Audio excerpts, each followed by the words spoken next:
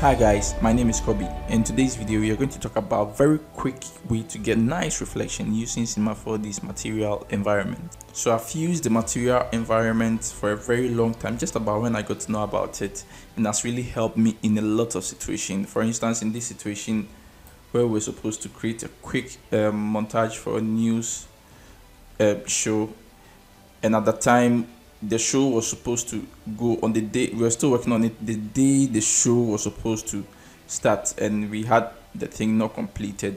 And wanted to get a little bit of some glass and reflection in the um, rendering. And it was really really difficult at that time. And that, that same night we needed the thing to finish. And the machine i was using was very very very like poor. I think it was just some quad core with about 8 gig rams or so. And imagine rendering about 15 15 to 20 minutes um, video which has a lot of reflections and um, glassy kind of look and all that in it was quite difficult. So i mean if not for the mat- uh, material envir- uh, environment um, map would, would have been very very difficult. So that's what i use to get um, this kind of reflection in in the scene so that it can get me render quickly. And it's really instant. And it doesn't demand a lot of computation power. So you no matter the specs of your machine this is the best way especially if you don't have like the best of machine. This is the best way to go around sometimes when you have a lot of pressure work and something you want to do. So that was how the environment map saved me about five or six years ago. So to apply it it's just as applying any other material. So I'll come here. And here I have a text so I'll actually change it and call it type pixel in here. And I'll go ahead and create my material. So I'll come to create new material. And I'll apply it to the text. Drag and drop it on the text. And now my material is applied. I'll double click on the material to open the material editor. And you can see right under the reflectance we have environment down here I'll check it and uncheck the reflectance.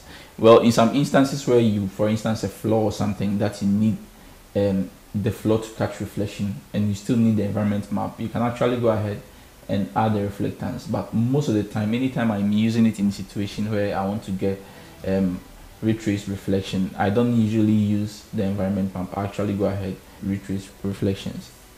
So in, in places where you want to do simulate uh, physical or real world looking reflection then I, I, I advise you use the reflectance. But in cases where you want to get some nice look which works and all that you can use the environment map and it's very very fast. So I have the environment map checked and nothing actually changes. So I need to define which environment it should reflect or I should give it an HDRI image.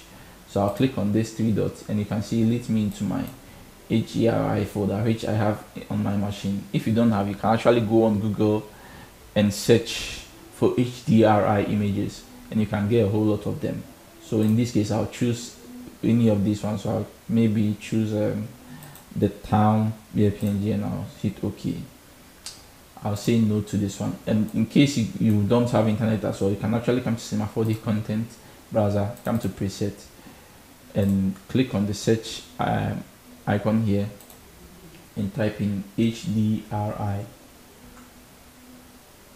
and when you hit search you can see there's a, eh, there are some HDRI in Cinema 4D so double click on it to open it. And you can see you can actually drag and drop it straight into Cinema 4D or if it's a texture like in this case you can double create your own material and the environment you see where the, these three dots are I'll check the reflectance and check the environment. You see where these three dots are that you click to bring your images or uh, the bitmaps in. You can actually drag and drop on it on, on this and now you have your HDRI from the content browser in your material. So you can also do that one as well. So now let's go ahead and apply our material which we have we've applied it already. So now and we've applied the HDRI so you can see instantly we are getting some reflections and everything. So I'll actually go ahead and change the color to let's say yellow I mean or orange or something because you like it. And you can see now we are getting some kind of reflection but it's not like how we want it. So now let's go into the environment map and play around with it a bit so now you can actually come here the brightness you can increase it and increase the reflection the reflectance look. And this is the image we applied in the mixture. This is how it applies to the material um, blends with the object the color or whatever you have. And this is the strength. So now you can actually dial it in here and increase it in here as well. So the tiling also sort of tiles it's like any texture. So I'll make it 3 by 3 to see how it looks. And you can see the reflection is showing up. But I can actually leave it by one by one. And what I usually do is uh, I want because it's sort of a sky I want the text to catch the sky reflection a bit. So what I, I, I can actually use a bend deformer to sort of bend the text for it to catch the upper one. But most of the time what I use is I use the bump rather. So I'll select the check the bump click on here and I come to gradient click on gradient and it opens the gradient. So now I'll change it to 2dv and now drag them, this knot in here and duplicate this one. So just click anywhere here and you create a knot for you. You can double click on it to change the color and everything. So I'll delete this one. So now we have um, this black to white to black created. And I can right click and distribute knot so that it will actually be exact how I want it. The next thing is to now let the bump or the texture fit like the text. So I'll right click on the um, material tag here and I come to fit to region. So what I'll do is I'll now click and drag to create um, to make it fit to the area that I created. And now let's see what happens. Not much because we've not actually increased the bump so I'll come to the bump and I'll make it to like say thousand. And now let's see. See now it catching a lot of reflection. But sometimes in or most of the time reflection you don't want everything to reflect like so you want it to get a bit of Fresnel um, feel. So what you do is you to add a Fresnel to this um, environment map you have to add the bitmap into a layer. So I'll click on this triangle here and I'll come down to layer. I'll select layer and now it adds the bitmap to layer. You can see bitmap in the layer. So now you can create extra shaders on top of our bitmap so I'll come here and I'll create Fresnel and I'll multiply it. And now let's see what we have see it's the front facing part of the camera is not showing but the edges and all that is getting there catching the reflection trying to simulate how reflection works. So I reduce the Fresnel a bit to let's say 80 and you can see it's giving us some nice reflection in there. So basically that's how it works. So I can actually come in here let me create um, a glass effect and to create like a glass looking effect same way I'll come here and I'll enable the transparency. I'll uncheck color and reflectance. So nothing happens. And I'll select the environment I'll check the environment map. Go ahead and bring in my tile material again. See? I'll say no.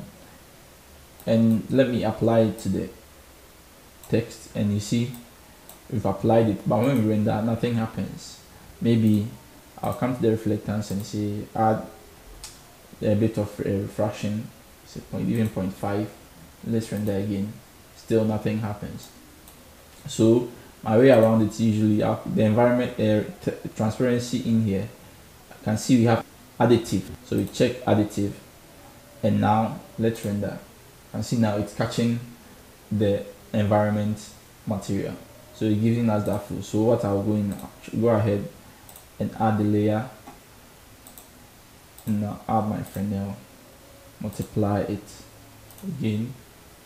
And I'll reduce it a bit. And now let's see what we have. So I can actually come into the environment and make this one. Let's say 3 by 3 give it a bit more. You can see instantly you're getting some nice looking um, reflection which we can actually use to do our stuff. Maybe five by five. Just play about around it to see the look that you think will be cool for you. And it renders as quick it's instantaneous it's it's instant. Depending on the like object you have in your scene it can be very very fast. And it really really helps in a lot of situations this is how you can actually use it to create a glass looking feel. I can also use it for instance I can come in here and check the glass. And now have the only the environment map in here. And I'll say change the color of the environment here so I'll come here and I'll make it a bit yellow okay. And I'll increase the brightness to like let's say 3 200 or even 250 or 260 maybe make this one 3 by 3 and I'll go ahead and apply it to the text once again trying to create gold looking effect. And you can see it we give we getting that gold looking effect I can still come in here and check my bump which I don't have so I can actually create the gradient again. 2dv um, drag this one in the middle and click here to create another one. Right click to distribute it so that it is well distributed. And now I'll right click and I'll choose fit to region. Most of the time the fit to region I actually do it here so that I'll get the way, get it the way I want so I'll right click fit to region and I'll do it in the front view so that it will be exactly how I want it. So now let me go back here and let's see increase the bump to like thousand.